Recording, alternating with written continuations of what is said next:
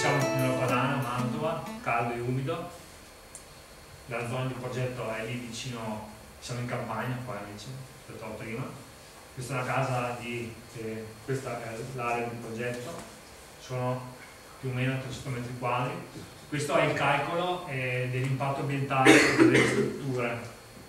Allora qua ho fatto un'analisi con pareti di paglia, copertura di paglia, vetro cellulare, le strutture lamellare e la fondazione in calcestruzzo e da almeno 35.000 kg di CO2 e per, per produrlo consumo 262.000 megajoule ok, sono gli indici di prima.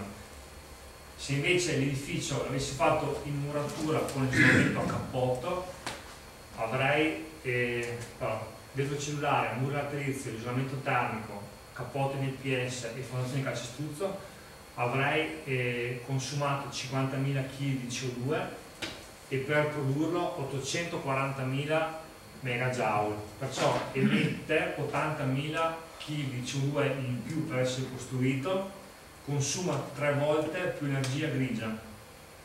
Ecco perché utilizzo la paglia. Quanti clienti utilizzano la paglia per questo motivo qua. Hai fatto anche un'analisi sui costi? Cioè, tra uno e l'altro? No, quella no, fatto... No, ecco, l'analisi dei costi potrebbe così a spanne, se dovessi fare un edificio tradizionale con i materiali eh, naturali costerebbe di più, paradossalmente costa di più. E laterizio?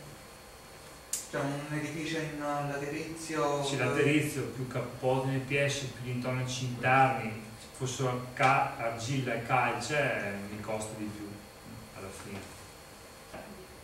questi sono gli elementi da porre attenzione nel progetto. È la tavola no? vabbè non c'è le tavole proprio lì da, dalla struttura. Ecco lì il camino. Tutta questa falda è, è fotovoltaica che viene predisposta appunto per fare la batteria di accumulo per la macchina elettrica eccetera eccetera questo è sempre l'analisi dei tecnici della, della fondazione. Questa è la bozza dello strutturale della struttura in legno. Ci saranno se no? 10 metri cubi di legno qua, qua dentro. Questa è sempre la struttura della copertura e, e, e la sezione eh, della casa sempre solo struttura. E questo è l'impianto qua non c'è UMC, non c'è niente di quello che propone il mercato.